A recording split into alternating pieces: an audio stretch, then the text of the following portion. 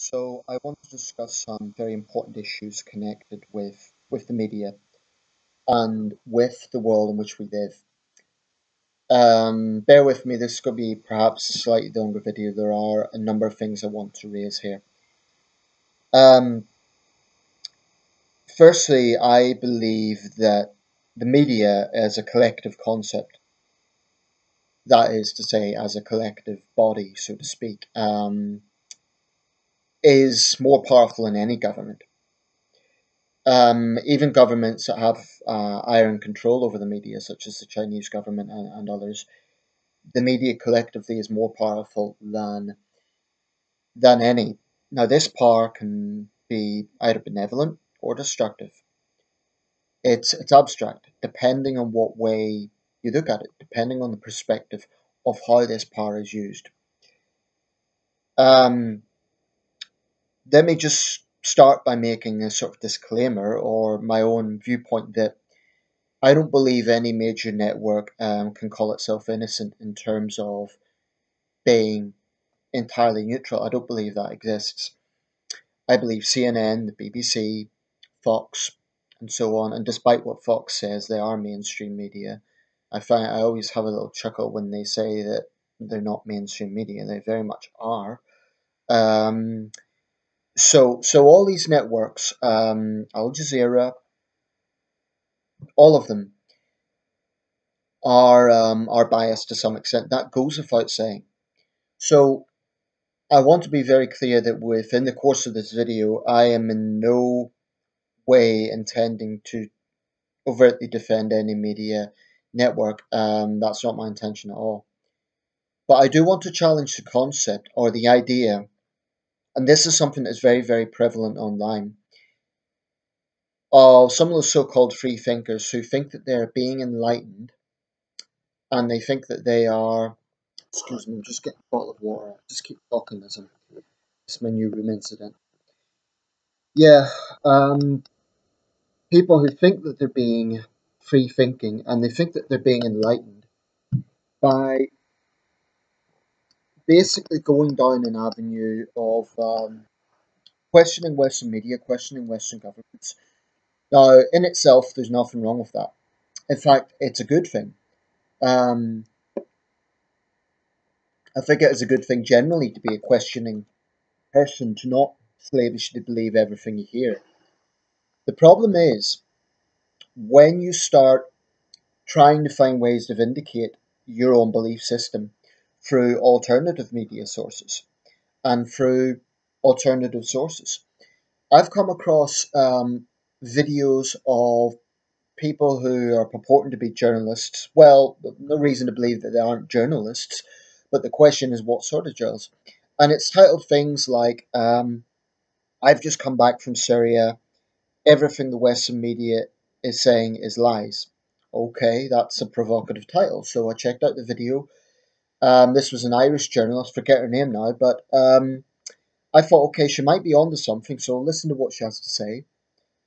But then you start seeing the bias coming through, and when you hear so-called journalists say things like uh, the so-called state of Israel, so actually questioning um, a nation state, regardless of what the origins of that nation state are, actually questioning that state, then, then clearly, whatever way you gloss it over, whatever way you look at it, there is a bias there. You can't you can't pretend otherwise. You cannot say that this is an investigative journalist trying to be independent when she is clearly pontificating her own views. And to me, that damages her credibility um, completely. Even if the rest of the video is um, is more independent, even that one thing of saying the so-called state of Israel, it immediately gets me thinking, well, this is someone who who is very anti-Israel, and that usually follows then the very anti-Western, and it becomes very, very difficult to see any credibility in that. And then you look at some of the links. Very often I see people who purport to be telling the truth about the whole thing, especially regarding the war in Syria, and you look at the link, may not be in the initial source, but it is certainly often in related sources. And lo and behold, what is it? Russia Today, press TV. Well, let's look at that for a second. Russia Today is the mouthpiece of the Russian government. Can anyone dispute that? Press TV is the mouthpiece of the Iranian government. In both cases, these are networks with a clear agenda of promoting the nationalistic policies of the respective governments. Sure, Fox News does it, but in the case of Fox News, it's blatantly obvious. With RT and Press TV, there's a disturbing number of people who think that they're being enlightened by quoting these sources and by endorsing these sources like they are a legitimate alternative media. They're not. They're absolutely not. The, the thing is, I never fall into the trap of saying, well, this is the BBC, so it must be the truth, or this is CNN, so it must be the truth. But they do quote RT and Press TV as if it is a fact. And then when I see uh, people connected with David Icke, who I think is a complete and utter, I'm sorry if that's blunt, but you know, th- this is a guy who thinks he and he alone is enlightened. This is a guy who genuinely believes world leaders are reptilian shapeshifters. I mean, uh, have we really got to the point where people have become so opposed to Western governments and Western media that they have to endorse this sort of narrative? That they have to get to the absolute the, the problem with conspiracy theories like this, and I'm not saying that by the way as an insult, because I don't believe that all conspiracy theories are mad or something. I believe that, like I say, it is legitimate to question things.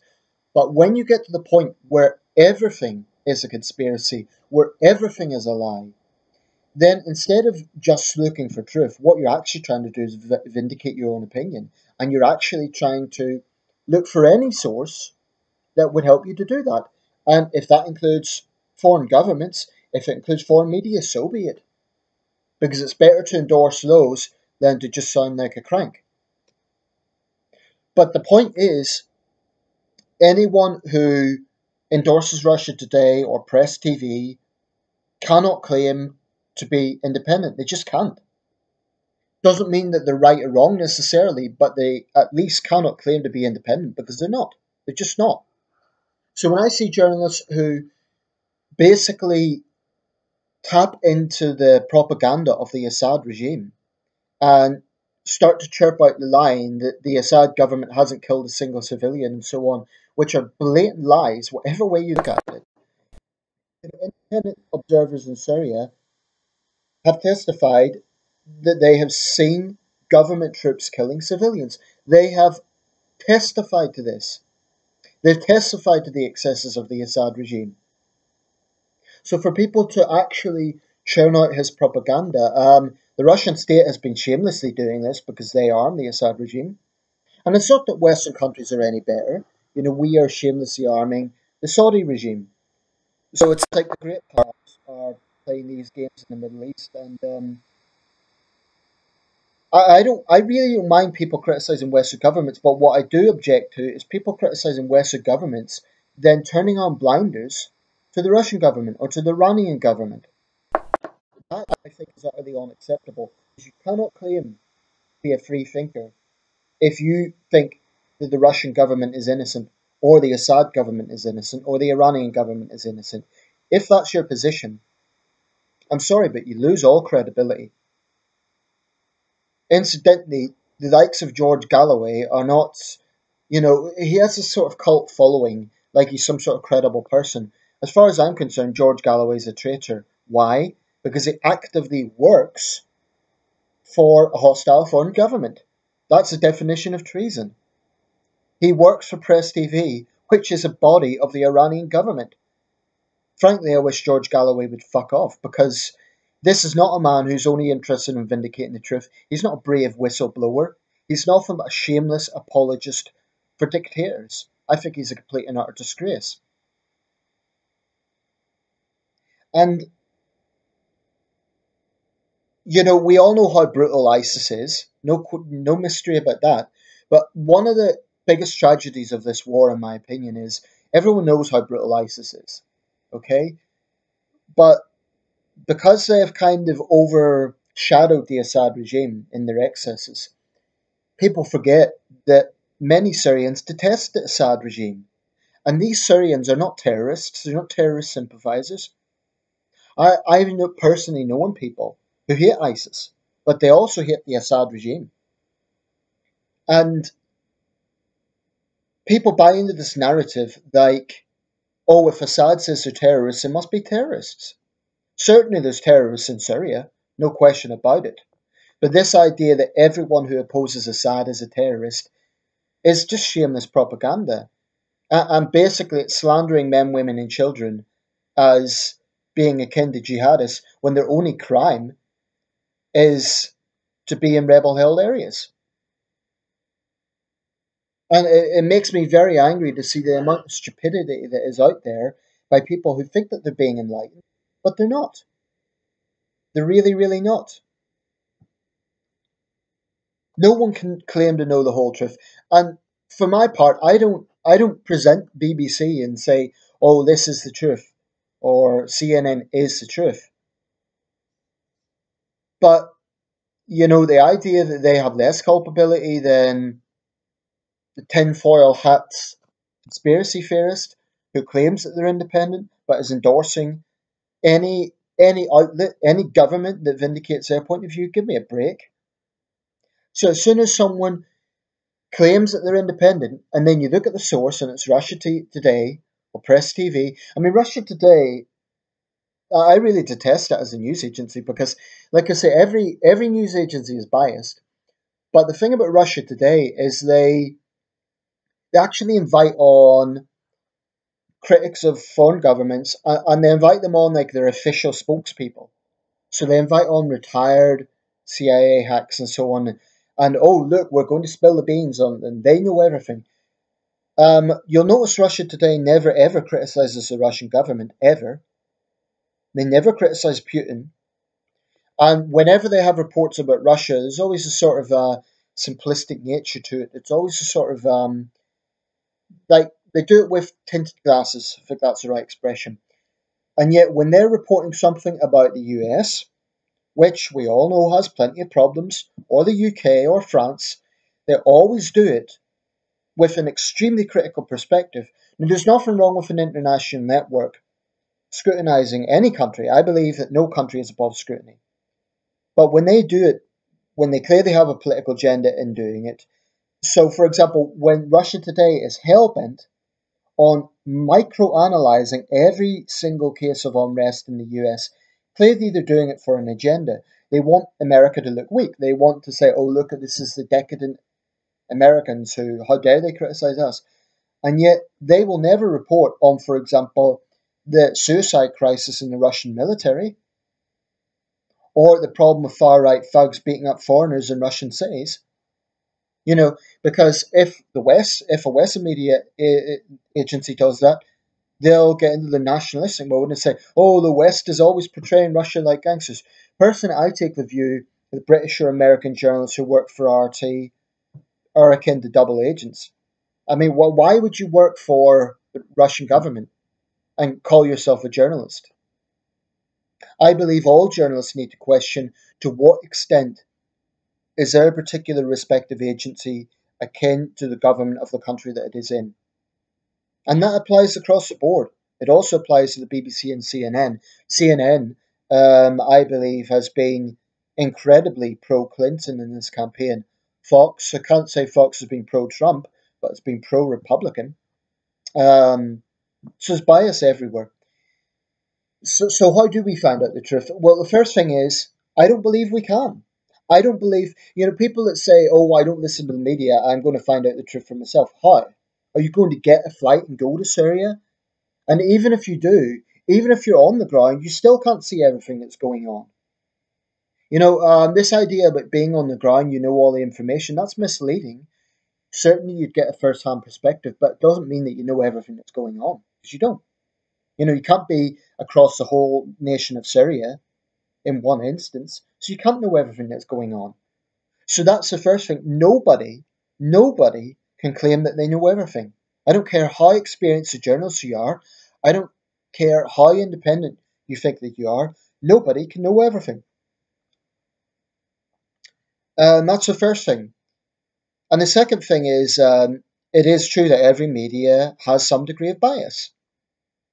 But there's a difference between saying that all media outlets are biased and attacking one source like Western media, whatever that means, um, and then turning blinders on to Russia Today as an example, as a prominent example. So I, I think there's a profound hypocrisy in that. And getting through to these people, and th- this is the thing, I, it's very difficult to engage in rational debate because they've got their blinders on. If you go to any of these sort of websites, uh, not websites, if you go to any of these videos on YouTube that pertain to be independent minded and they're bashing Western media, all you see is this long line of comments like, oh, I'm an American and uh, I know our government are liars and I believe everything Russia Today says. They don't say that, but that's the impression they give.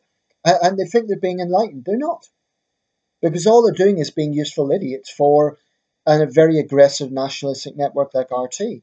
There's nothing open minded about doing that. And then there's a long list of comments like, oh, we always thought Assad was the bad guy. It turns out he's the good guy. Uh, no, he's not. Uh, and the naivety of some of these comments is profound. But if you try to engage with them, they just call you uh, a shill for Washington. They say, "Oh, you're," uh, you know, they'll call you all the names under the sun, whilst arrogantly assuming that they're open-minded when they're not. You know, I, I don't pretend I know everything. And that's the difference between me and them. They, they seem to think that they know everything. They don't. Neither do I. I don't believe that anyone can know everything. What we have to do is try to be objective and just look at different sources, and somewhere along those different sources, try and get some fathom of truth.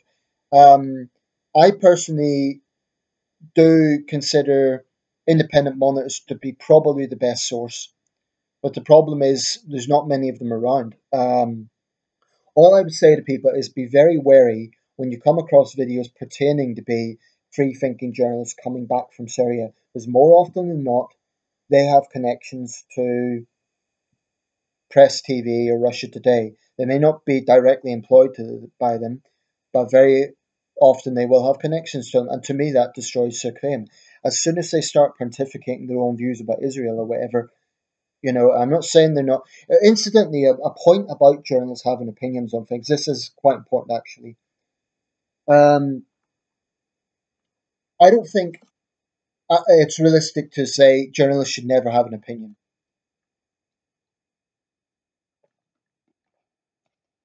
Journalists are human beings. Inevitably, they're going to have views on subjects. They're human beings. They have emotions. They're going to have opinions on subjects.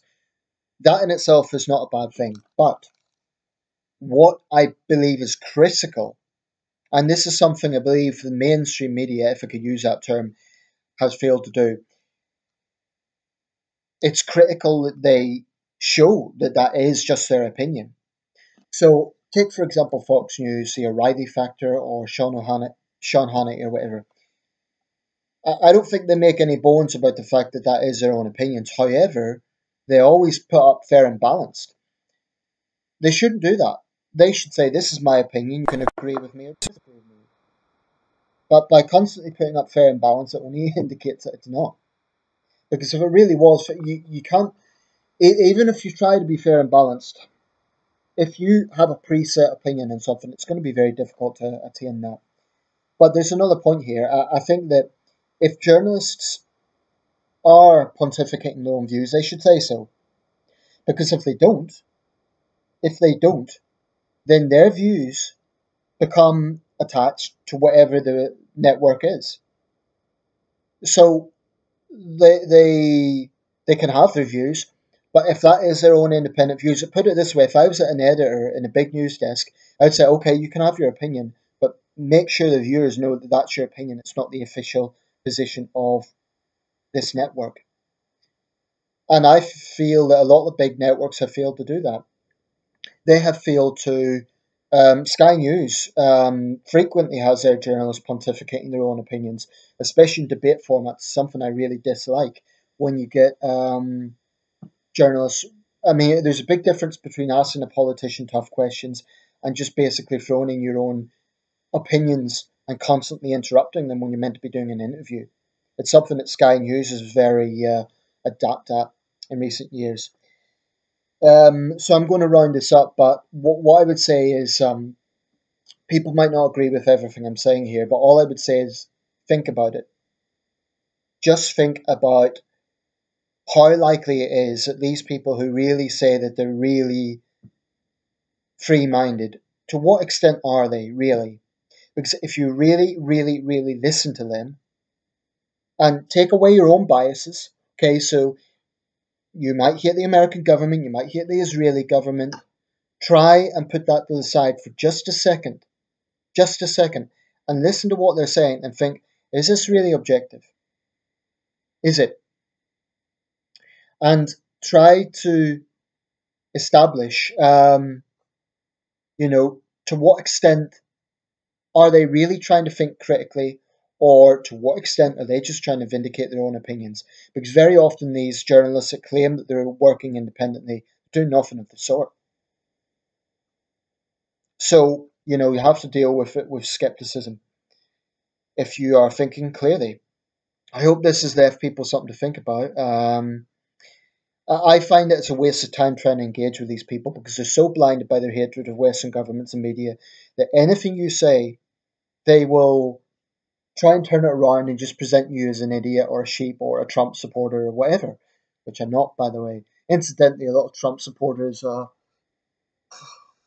are not exactly fans of the American government anyway, that goes without saying. But, um, yeah, those are just some things, excuse me, those are just some things to think about. Let me know your thoughts. Thanks for watching.